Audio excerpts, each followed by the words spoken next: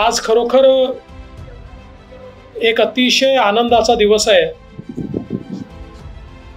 की trans harbour लिंकच्या प्रकल्पामध्ये एक निर्णायक टप्पा आज आपण गाठलाय. आणि ट्रान्स हार्बर लिंक ही पूर्ण थ्रू झालेली आहे.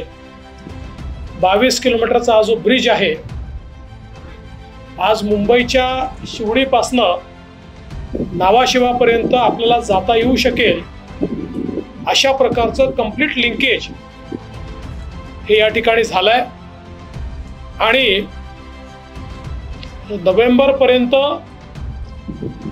काम पूर्ण होऊन निश्चित याचं लोकार्पण देखील होईल अशा टप्प्यामध्ये आपण पोचलो आहोत.